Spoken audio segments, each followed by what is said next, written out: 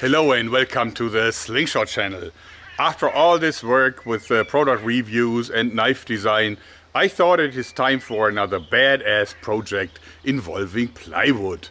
And I was looking for a proper project and I found these here. These are like little CO2 BB guns, very inexpensively, that I bought like a year ago to make like a, a Gatling rotating one that had six of them clamped in and it was actually fun. And they, but ever since then, uh, there was nothing I could really do with it, even though they're just not so bad. So uh, the BB gun Ingram, let me show you its features. So this looks like an Ingram, but it really isn't. I mean, all this is just fake and doesn't really work. What it does have is it does have a magazine for like 39 BBs.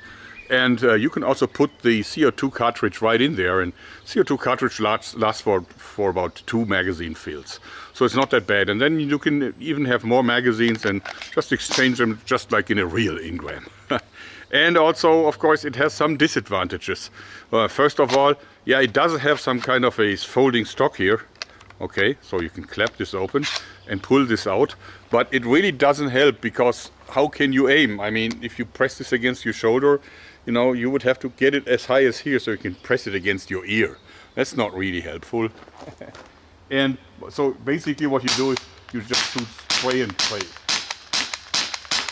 So you aim with it just like with a garden hose because you can see the little BBs in flight and that's how you aim.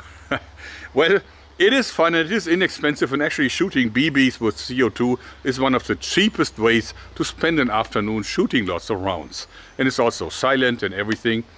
The only thing that it's not is just not badass enough for this channel. So I've been thinking about how can I make these really badass.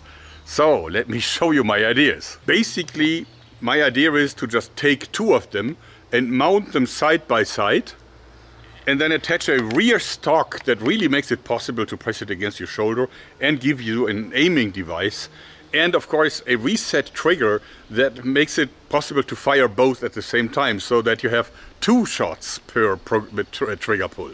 That is the basic idea. Can it be done? It can.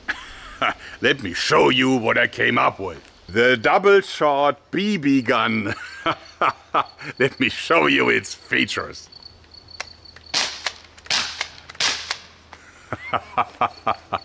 so I didn't change the guns at all. The only thing is I did is I just removed this one screw that holds the upper and the lower uh, receiver together.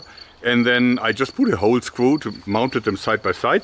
And I simply clamped out the little buttstock and used the holes for it, for the joints, for another screw here, so that they're firmly mounted together.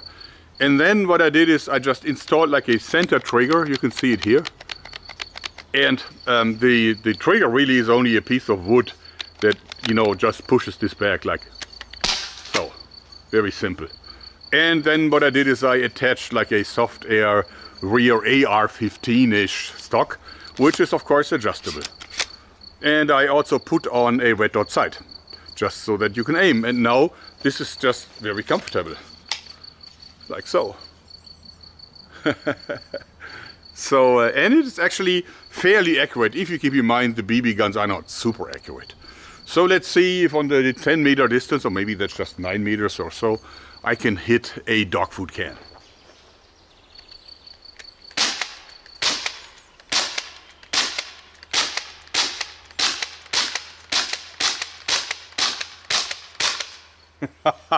I obviously can.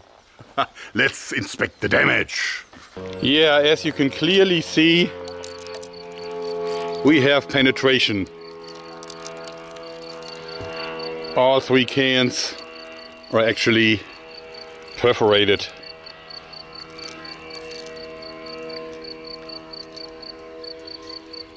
Now, of course, we want to see how the wound canal works. And I know because when I first got these guns, I accidentally shot into my pinky. So I know that they do penetrate flesh, although not very deep. So inspect, you know, we can expect some little penetration.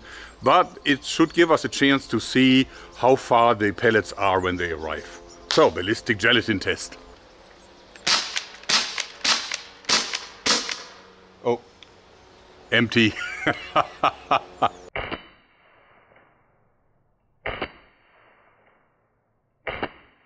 So we can clearly see that we did hit the ballistic gelatin and also that there was some penetration about this much and it actually makes sense if you keep in mind that there's no skin. Skin definitely is a resistance factor but you can see how deeply they penetrated. Quite nice wouldn't you think? Just for calibration purposes we're going to shoot the adder with the uh, Venom Extreme 190 pound bow limb and we're going to shoot some broadheads like these ones here and also the EdgeTech 200 broadheads let's see what they do to the same ballistic gelatin and this is of course an experimental adder where I added a siege cocking lever and it's also having the seven shot original EK archery magazine. Just want to check it out. And it doesn't have a red dot so I have to use iron sights quote unquote.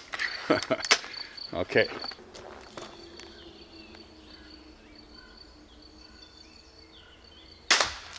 Whew.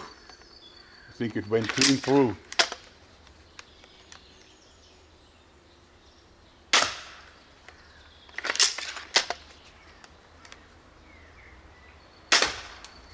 another clean through.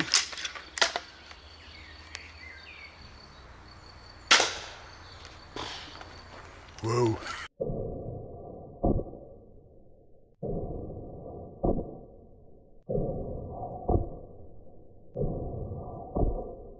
As you saw for the Venom uh, 190 pound limb set in these broadheads, ballistic gelatin is just not a suitable backstop.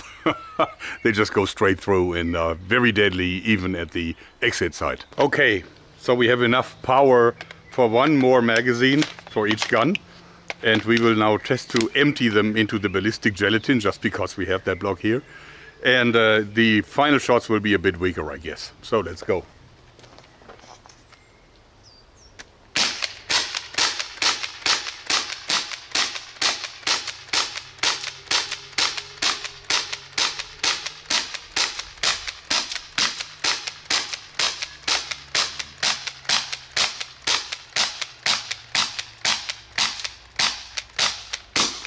Okay.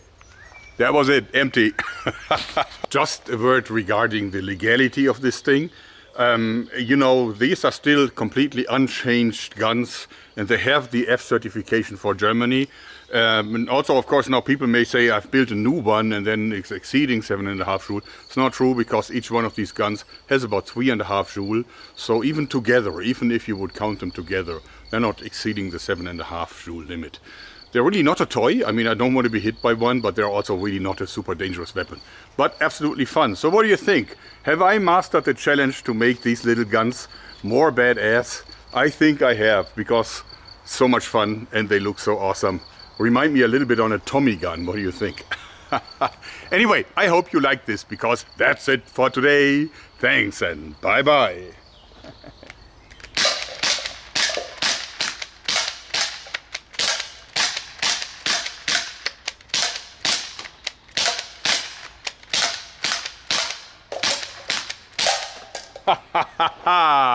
Clean them all. Strike.